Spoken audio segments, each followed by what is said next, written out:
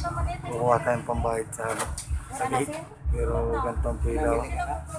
Ah, wala na, sir? Wala ka nang sira sa yun? Social distancing. Plus 12 siguro baka makuha tayo.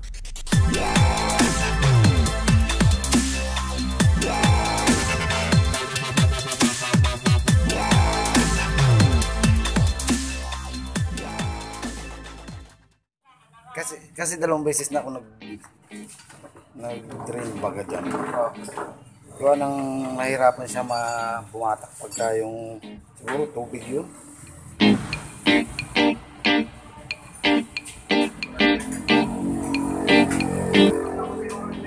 Ina-change oil natin pero papalinis na natin ang carburetor para malaman kung anong problema niya. Lourdes!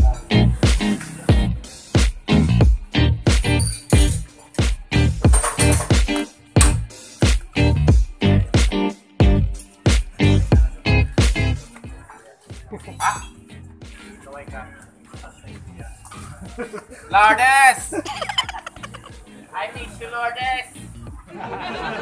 Ngayon namimiss na si Kuya eh. Ipa-vlog mo yan? Oo. Hindi mo na lang ilagay sa dahil ko. Ay,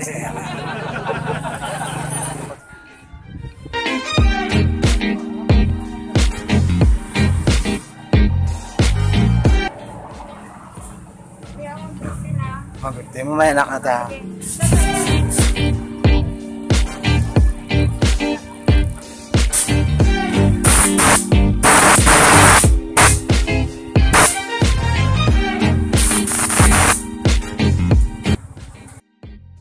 Mabiyak to kasi ang akala sa makina ang sira.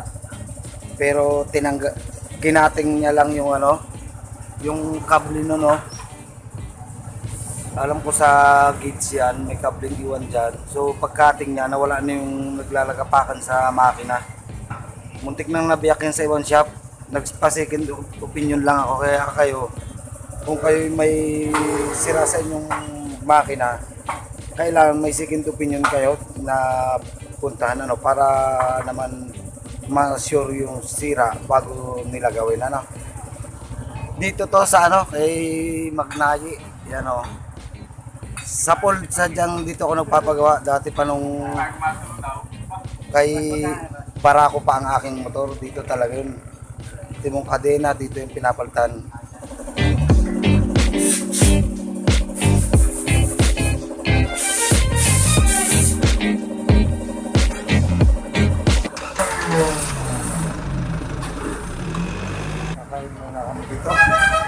Kasi maghapon na to. Abuti na hanggang hapon ng ating lakad. So, second kumain dito sa yan. Park lang ito ng labasan.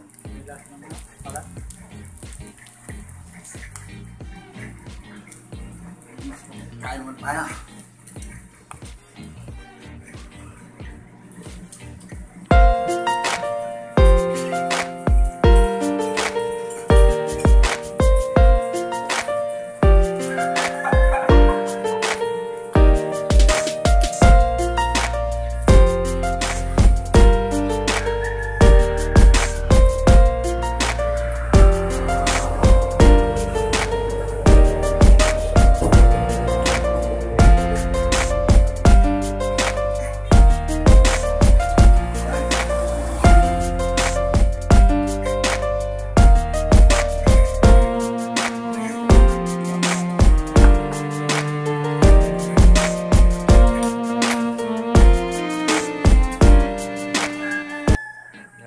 Dadaw natin ng 15,000.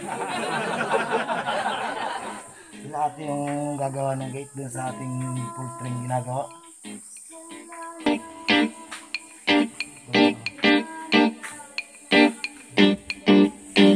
One, two, three, four, five, six, seven, eight, nine, ten, eleven, twelve, thirteen, fourteen, fifteen, sixteen,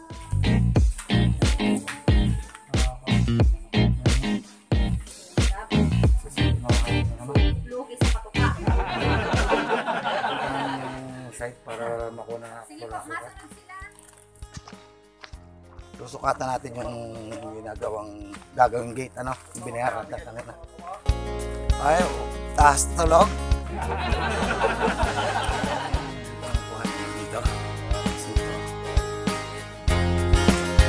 Kuhanin mo ang sintro dito sa kabilang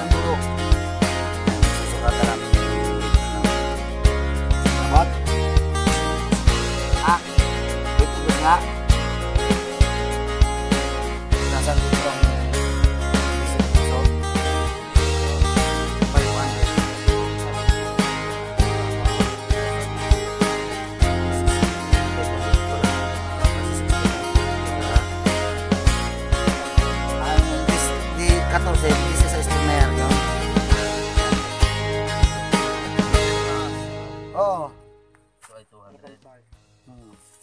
200 din ang plate niyan. Hmm.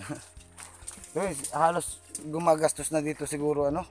Approximate dito ay mga more or less 1 million na to.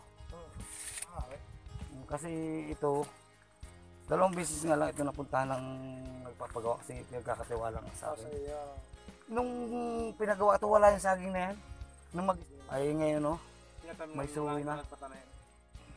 Yan, ganito no. Natapos na yung pagsusukat ng gate, so uuwi na ako. natin matapos yung buong gate na yon. Uh, dadalhin nila dito yung buo. Tapos tayo ang gagawa ng poste. Kami ang gagawa ng poste nun. Tapos ah, kami na rin ang magkakabit. So, maraming salamat sa inyong ah, panonood. God bless. Bye-bye.